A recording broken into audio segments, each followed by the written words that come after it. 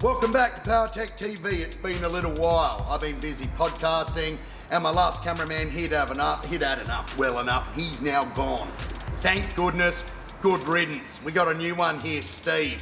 And you know, my job now is to make him laugh in the background while we're going through this beautiful VF2 GTS. Started out life as I all do is a bit of a slug. Dead standard, good thing. 315 kilowatts at the back wheels of raw, scintillating power.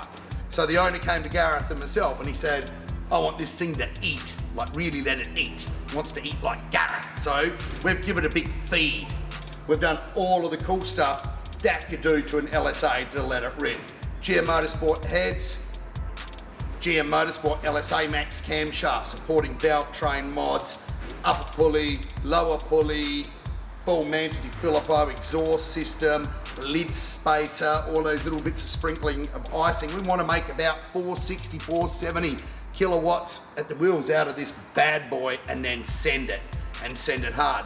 Reason being the owner, he likes having a little race with his mate who's got one modified from someone else. So we built this thing track spec, fast, should be capable of a, of a mid-10 driven nice, and this guy can drive, thankfully. What other mods have I missed, Gareth? Have I missed anything else? Intake. Oh, Harrop intake, of course, our good friends at Harrop. Um, this is like a real COVID special, this build. We've done it during the downtime. It's kick-ass, it's killer. Let's get it on the dyno and uh, let's see if it makes 450 plus. It should, like all day, dog. Should do it, no problem at all. So we'll be back to see you in a minute.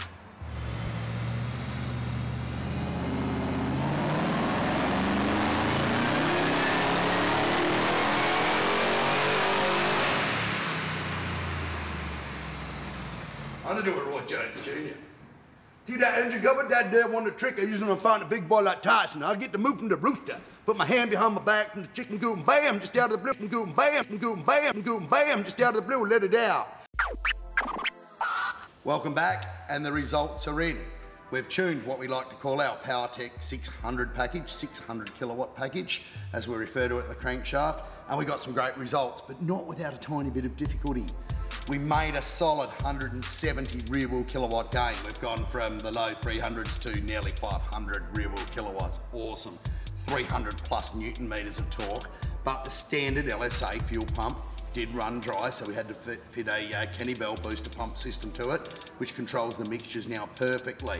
So the gains are massive, and LSAs, they kind of do it easy because they're designed to cope with boost and they're designed to, you know, you can feed these bad boys boost all day, dog, as Kimbo would say, and get some incredible results. This car is a real heavy hitter, and in old school terms, you'd be talking about it being an 800 horsepower package and a beautiful daily all in one. So if you've got an LSA and you're thinking of doing something like this, by all means, bring it to us and we'll have a chat about it.